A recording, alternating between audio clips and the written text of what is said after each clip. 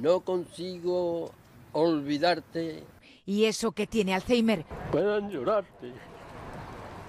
Toda una vida, 26 años de la mano Gaspar y María José, hasta que la enfermedad de él les separó. Lo ingresaron a tres horas y media de autobús de Granada. Sin posibilidad de mudarse, ella hacía lo imposible por verlo. Yo lo pasé muy mal, sufrí muchísimo. Seis meses ha estado pidiendo al defensor del pueblo que se lo traigan. Imploré que me ayudaran y me ayudaron.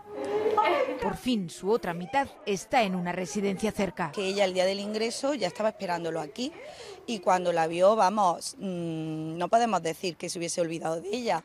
Y pueden estar aún más juntos. Que le estamos gestionando plaza concertada porque ella no tiene muchos recursos para que, para que se vengan aquí. Para los que sin demencia diagnosticada olvidamos a menudo en qué consiste la felicidad, ellos nos lo recuerdan. Que si tú te sientes feliz de estar a mi lado, uh, mi pie y mis manos.